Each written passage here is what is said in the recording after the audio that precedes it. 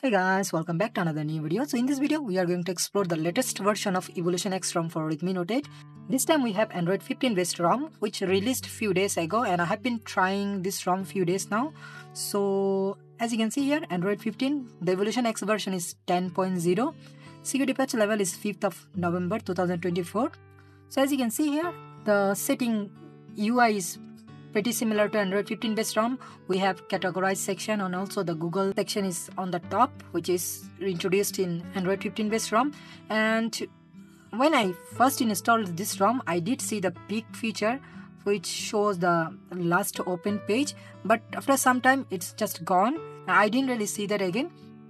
So the peek feature is not here. In terms of UI, as you can see, it is pretty smooth actually in terms of network and other things those things are pretty good. I haven't faced any kind of issue related to network bluetooth and all those things. And in the display section we have all the typical features of evolution x rom. And the wallpaper and style section.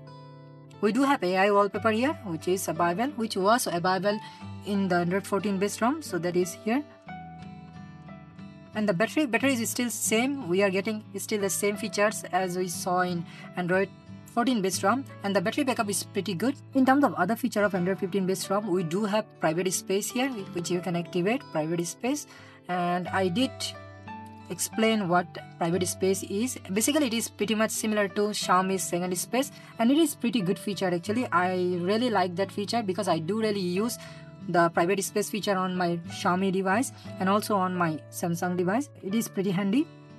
In terms of application, as you can see here, there are not a lot of application, but I did install few application here. As you can see here, we do have an application called Better Status. I don't really know why we have this application here, and also I can't really uninstall this application, as you can see. So you can't really uninstall that, and we do have typical Android application here. We do have Google Dialer, but we can call record without notifying the other person. We do have Xiaomi camera here, which is working perfectly fine, no issue. So it is working. And in terms of safety net, so unfortunately we don't really have safety net here, so you can't really use bank application here. And if I check play certification, that is also not available kind of really strange actually. So as you can see device not certified. So these are the issues. In terms of google photos unlimited storage that is available but you have to turn it on from here evolver miscellaneous. You can go to component spoofing and you have to turn it on.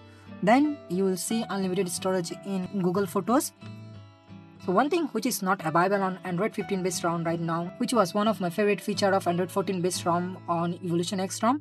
So that was circle to search. So we don't really have circle to search on android 15 based evolution x rom which is available on infinity x rom 2.2 and in terms of gaming experience of this rom it is not really that good. It is a little choppy and you can get better experience from infinity x rom.